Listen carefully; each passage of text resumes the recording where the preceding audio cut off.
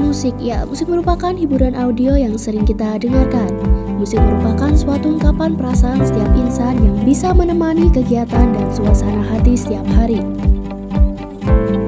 Begitu banyak ragam aliran musik yang ada di Indonesia, terdapat pop, jazz, rock, dangdut, keroncong, dan masih banyak lainnya.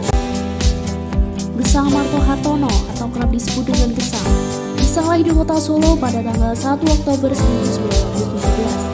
Beliau merupakan seorang penyanyi dan pencipta lagu Jawa yang terkenal sebagai maestro keroncong Indonesia. Lagu yang berjudul Bengawan Solo merupakan karya yang telah diciptakan oleh Gesang.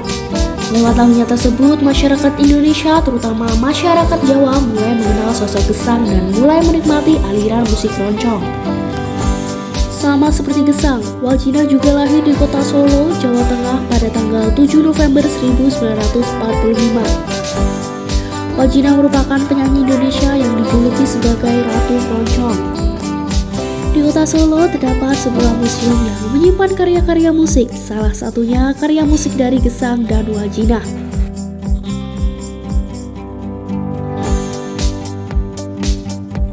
Tepatnya di Museum Lokananta. Museum Lokananta terletak di Kerten, Kecamatan Laweyan, Kota Surakarta, Jawa Tengah.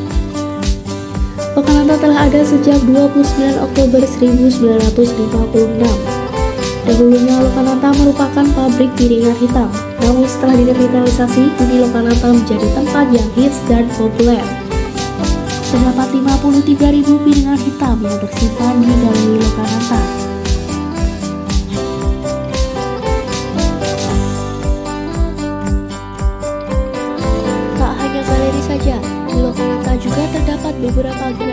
Bisa kalian kunjungi. Nah, tertarikkah kalian untuk mengunjungi Lokananta?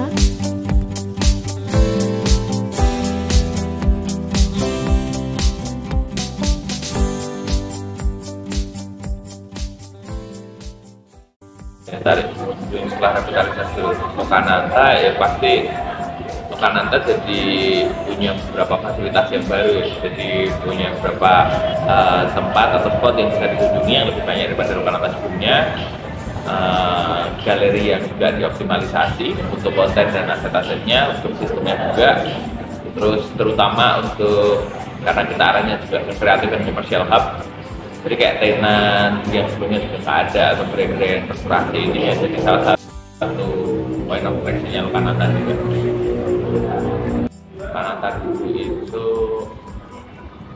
salah satu uh, perusahaan untuk mencetak dan mendistribusikan uh, rilisan-rilisan fisik dari dari musisi-musisi nasional, lagu-lagu daerah, lagu-lagu nasional itu dilakukan oleh Kanada. Jadi karena dulu sistemnya masih distribusi fisik untuk ke setiap jadi Lokananta kan juga provide uh, pengadaan vinyl buat diputar di RRI di seluruh Indonesia. Nah, Lokananta provide itu nah dari situ uh, banyak artis yang akhirnya direkam di sini, dirilis di sini dan jadi satu rekor label juga milik Indonesia yang pertama dan terbesar.